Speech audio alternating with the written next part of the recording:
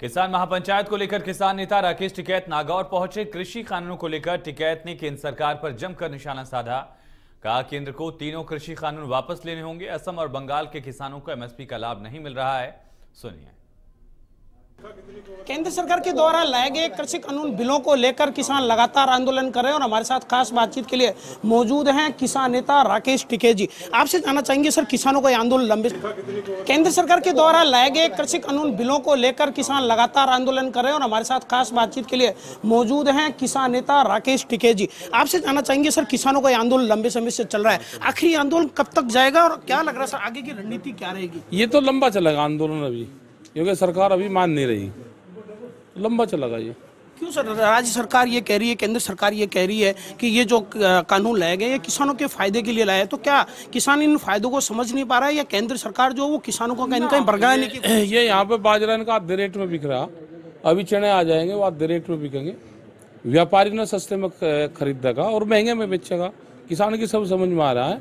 File पे नाम किसान का है और अंदर जो पर्चे हैं वे व्यापारी के हैं। सब समझ गया किसान। किस तरह से क्या होगी अगली संसद कहाँ होगी? किसानों की नई मंडियाँ कौन सी होगी? फिर आपको क्या लगता है सर जिस और यही मंडी होगी और नहीं इनका बिकेगा तो दिल्ली की तरफ़ को आओगा। जैसे चार पाँच लाख लोग अभी भी दिल्ली के चारों तरफ़ को बैठे हुए हैं तो वहाँ पे संख्या और बढ़ेगी किसानों की। किसान महापंचायत के माध्यम से भी आप लगातार जनता के बीच में जा रहे हैं किसानों के बीच में जाके सीधा संवाद कर रहे हैं। तो आपको क्या लगता है सर किसानों का ये जो आंदोलन है इसको पूरे प्रदेश में और पूरे भारत में गति देने का ये प्रयास हाँ गत, गत, गति देने का प्रयास है पूरे देश में जाएँगे पूरे देश में गति देंगे।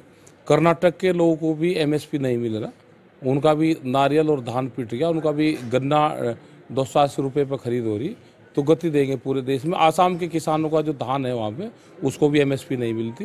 बंगाल में भी नहीं मिल रही वहाँ पर भी दिक्कत है किसानों को। क्या सर मुख्य मांगे केंद्र सरकार से? कहाँ लगता आपको लगता कि के मामला जो है वो सुलझता हुआ नज़र आएगा आपको? अभी तो नहीं सुलझ रहा मामला। अभी तो सरकार बात ही नहीं कर रही जब सरकार बातचीत करेगी टेबल पर बैठे बात तो करी थी सर सरकार ने आपसे हाँ करी नहीं वो बात। हाँ हुई बारह वार्ता हुई। उसमें उसने कोई हल निकाला नहीं अभी।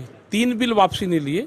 आपको नहीं लगता सर किसान आंदोलन जो ये है ये कहीं ना कहीं राजनीति का भी शिकार होता जा रहा है? कुछ पार्टियाँ जो है वो इसको इस पर राजनीति भी करना शुरू कर दी ना यहाँ तो नहीं कोई मिला। राजनीति वाला कोई मिला तो बताइए कहीं। लड़ाई जारी रहेगी कुल मिला हर हाँ लड़ाई क्या को बंद होती है? लड़ाई तो जारी रहेगी भाई।